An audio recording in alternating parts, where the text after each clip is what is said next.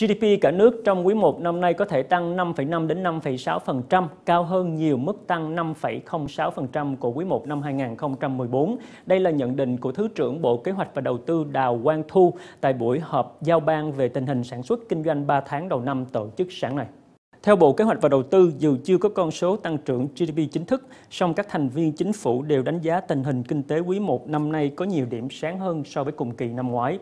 Cụ thể, chỉ số sản xuất công nghiệp tăng 9,1%, cao hơn mức tăng 5,2% của quý 1 năm 2014.